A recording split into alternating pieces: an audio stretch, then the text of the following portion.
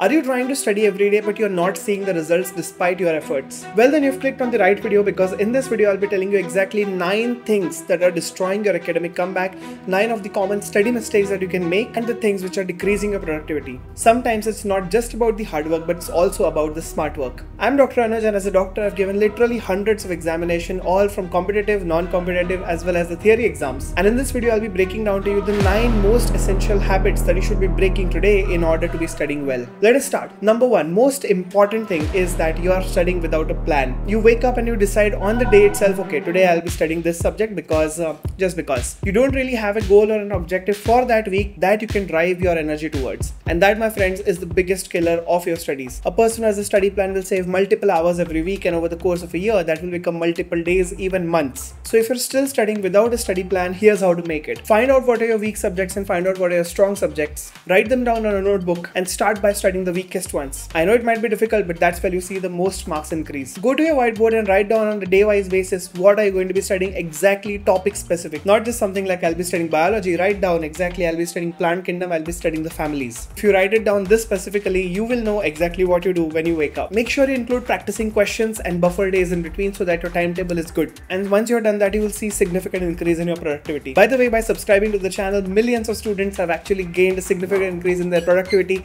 So consider doing that if you feel that this video is helpful to you. Number two, this is something which I struggle with quite a lot and that is multitasking. You know, when you've got 15 Chrome tabs open, three of them being YouTube, two of them being your research papers, four of them being some study material that you're looking up, and two of them being random cat videos playing on Instagram. That's when you know that you are multitasking and you are literally not getting even a single thing accomplished. But let me tell you this your body is not made to multitask. You are supposed to be doing focused work one task at a time. In one of my most favorite books, Deep Work, Cal Newport says the same thing that whenever you're doing deep work, always do it task specific. If you feel like you have to study only this subject today, you have to cut off every task from your to do list and only keep that subject as your to do list. I repeat, do not multitask, do not try to read multiple things at once, only stick to one thing at a time. Turn off notifications, put your phone away, remove all the distractions from your life and remove the multitasking. Focus on one task at hand and only get it done. Research shows that multitasking reduces up to 40% efficiency. So a reading which would have taken you 1 hour will now take you like 1 hour and 30 minutes. Number 3 is something which I struggle with till today, that is passive learning. What is passive learning? Whenever you're reading your textbook, you're just highlighting it and you're not taking anything away from it. If you keep on highlighting stuff, it's not going to go into your brain. This is something which you have to hardwire.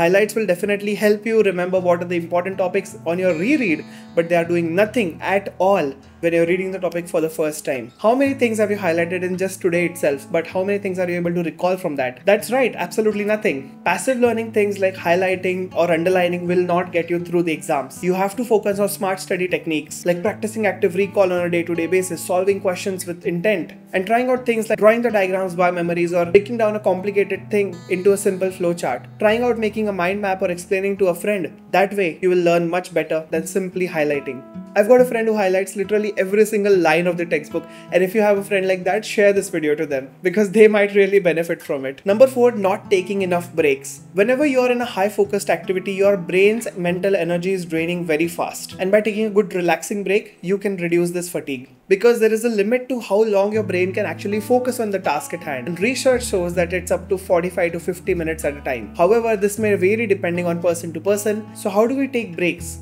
Well, there is this famous technique known as the Pomodoro method. You study for 35 to 40 minutes and then you take a break for 5 to 10 minutes. If you keep on doing this, you will develop a habit and slowly and slowly increase this duration of focus. I personally myself have done it. My Pomodoros used to start from 30 minutes when I was a second year MBBS student, but during my NEET PG exam session, I used to make up a Pomodoro of 3.5 to 4 hours. And all of these 4 hours, my mind used to stay just as alert as on minute 1 to the minute last. And that's the power of neural plasticity. You can change your brain to the way that you like. Please make sure that you're not using your phone during this break time, otherwise, you will drain your mental energy. Do something productive, go out for a walk, talk to your mom or dad, talk to your friend if possible, or if you're like me, you can record videos in between and make a vlog out of it at the end whatever it is, be productive during your breaks and don't do activities that will drain your mental energy down. That includes talking to friends who are toxic. And you know which friend I'm talking about. Number five, this is very crucial when you have a lot of things to study, that is ignoring the high yield important topics. So, when I was studying medicine, which is a huge, huge subject,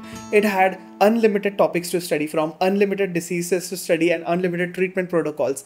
How do I know which disease to study? And I cannot ever say to the patient, Oh my god, are you suffering from Gaucher's disease? Well, sad news for you because I skipped that topic while I was studying medicine. I cannot do that. But at the same time, I can ensure that I am not wasting my time on unnecessary topics which might not be that important from the exam point of view. Because in the end, if you don't crack an exam, you will not be a doctor. I understand reading everything is important as a medical student, especially, but it's very essential that you first read the things that are important. Don't get lost in the details that you very fancily read. Oftentimes, when you're reading huge textbooks, we feel like it is so beautiful, it is written like a story. I want to keep on reading, but that's something which you should avoid unless and until you've got a lot of time at your hand. So first read the important topics. You know you know how to get the important topics. You can look at the previous year questions or you can talk to your seniors. Both of these methods will help you figuring out what are the things to read first and which are the things you can read later on. However, especially as a medical student, try to read most of the topics because in the end you might be seeing a patient in your wards according to that disease. Number six, it is studying without reviewing. What does that mean? That means that you've studied a topic, you have closed it, and then you will never see it again before the exam comes up. And this is the number one most important thing that will cause you to have a mental breakdown, a panic attack before the exams. I still remember my friend telling me on the day of my surgery 2 examination that, oh my god, how did I come up to this place that I don't know a single word of orthopedics and I have to write that just in a few minutes. so, yes, it does happen to the best of us, but please have a schedule for reviewing the things which you are studying. For example, if I studied biology last week, I will try to incorporate at least a few hours this week to study all the things which I've done before. You know what happens? A lot of student comes up to me and says, Sir, I have done my 11th well, but now that I solved the questions of 11th class, I'm not getting those questions. You should have practiced your 11th class even when you started your 12th. You should not leave the chapters that you were once good at behind because your memory of it will fade away. Just like you are not able to remember the things and the subjects that you read two or three years ago. Because our mind is not built for permanent storage, it is only built for temporary storage which you keep on accessing for a long period of time until it becomes permanent. So always review your subjects, whatever you're studying, over the course of few weeks or few months after you've studied them if you do not wish to forget them. And for the subjects like maths, which I chose to forget from my life as soon as I entered my NEET era, you can absolutely stop studying that. Number seven, Number seven is very essential. Please listen to this very carefully. It is studying in a cluttered environment. When I enter a room of a student and I see that everything is haphazard, I know that that guy is cooked. And I also can't believe I use the word cooked in a sentence. Having a clean environment actually cleans your mind. The way you perceive your surroundings is the way your mind perceives knowledge. If it's very haphazard, it's very chaotic, then you will definitely have a hard time remembering things. So just take a break for five minutes, clean out everything, organize everything. If you have some sort of obsession like me, make sure everything is symmetrical and perfectly aligned, and then you can start studying after starting a Pomodoro timer. But please, for the sake, brother, please start what are what are you doing? But please for the sake of me don't study in a cluttered environment. I'll tell you this will single-handedly be the most practical thing that you can take out from this entire video. Just clean your desk and you'll see the energy come right back at you. Number eight i see a lot of students doing this and that is not asking for help when it's needed. When i was in class 11 12 i was very shy. I was an introverted person. I did not have a lot of friends and i was kind of a nerd and I used to be really, really scared to just raise my hand to the teacher and tell them, I have a doubt in this because it will it would make me so anxious. यार मुझे लोग जज तो नहीं करेंगे will I will the girls in this class perceive me as dumb yes I know I was a teenager once too all of these things made me really anxious so that an entire year went by and I did not even ask my physics teacher a single doubt I only used to go to that one teacher I knew to ask the questions I never used to ask any questions in class so the physics teacher calls up my mom and says yeah, Anuj never asked me any questions in the class. He is not even attentive. He's not getting good grades in physics. My mom says, yeah, he is very introverted. He only asks questions to that one teacher he's comfortable with. So that's the point, guys. It's okay. You can be anxious. It happens with everyone. But make sure that you have at least somebody you can ask the questions to. Don't be like me. You would just hold on to that questions forever. Find somebody that you're comfortable with. If you're not comfortable with your teachers, it's okay. I won't force you to ask them. Ask to your top of friends. Ask to your batchmates who are helpful.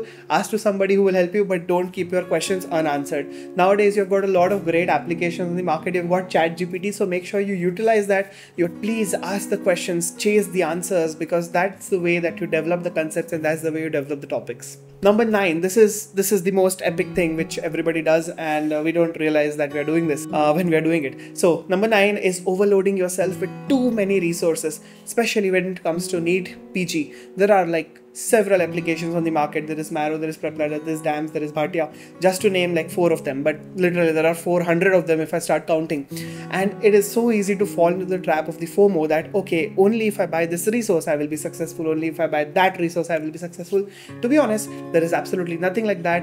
And you will never find an application which is 100% suited to your needs because everybody is different and you cannot personalize an application. So don't overload yourself with too many resources. Please remember it's about the student who cracks the exam, not the resource that cracks the examination. So it's all up to you and you have to utilize whatever resource that you've got with your best. And if, of course, if you're having some difficulty, you can go for the other ones, but don't overload yourself. Okay, I want to buy this, I want to buy that. मुझे physics वाला भी चाहिए, मुझे आकाश भी चाहिए, Elon की DPP भी चाहिए, मुझे I want everything. That won't solve the problems there are people who are cracking examination with less less less resources than you have and they are still doing it. So please don't burden yourself with resources. Make sure that you study consistently and smash that like button right now if you enjoyed this video. And every single person who has watching till this point of the end shall subscribe right now. Just click that button. Make it go from black to red to white whatever it is on your computer screen. Let's see how many people subscribe in just one video. Thank you so much for watching. I'm dr anuj and if you're new to the channel hi welcome kaise ho? Please subscribe. I make videos on study about productivity about my life as a doctor and I'll soon be joining my post-graduation uh, from which you can expect vlogs. So yes, thank you so much and without any further ado, all the best for exams. Take care, see you, bye-bye, good night.